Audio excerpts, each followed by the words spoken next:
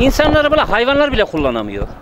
Yani peki bu e, alt geçitlerimiz yani hizmetler neden yarım yarım geliyor böyle? Ben oldum bidonlarla. Al. Çocuklarımız okula gidiyor. Ben bir, bir tane beş tane Bu yol kenarında bariyerimiz hiç yok. E Bak bu işte- öz boyunun üzerinde bir oraya bir alt geçit yaptılar. Yaptıkları ya. alt geçitten hayvanlar bile geçmiyor. insanları bırak. Yani her şey bu kadar yarım vaziyette. Çoluğumuz çocuğumuz camiye gönderemiyor.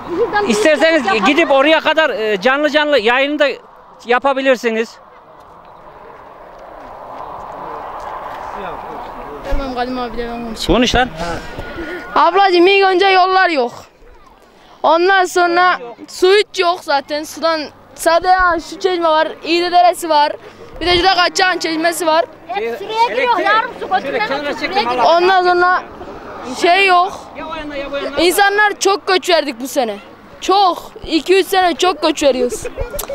Ondan sonra Ayağın kirini yıkamıyor. Mecbur gidiyor yavrum. Mecbur. makinede benim geçen hafta asbabım kaldı. Yıkanamadı okul elbisem. Okula gidemiyor. Okula gidemiyoruz yani.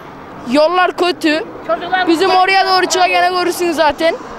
Muhtarım. Vallahi buradan Nezih Yalçın'a neye sesleniyorum? Başkanım yani buraya bir yardım verin. Yardım verin başkanım. Selam olsun. Cumhurbaş-. Cumhurbaşkanım. Recep Tayyip Erdoğan'a sesleniyorum. Ba- Cumhurbaşkanım. Şimdi sen bize bir yardım yap Cumhurbaşkanım. Biz sana burada yüzlerce oy çıkarttık. Bir tane üst geçit yap burada. Bir sürü ya da alt geçit yap. Alt geçitler hep şey gitmiş, kum kalmış. Olmuyor yani. Burada kaç tane mala araba çarptı. Karayolunun orada ne çok kaza oluyor. Bir üst geçit verin yani başkanım.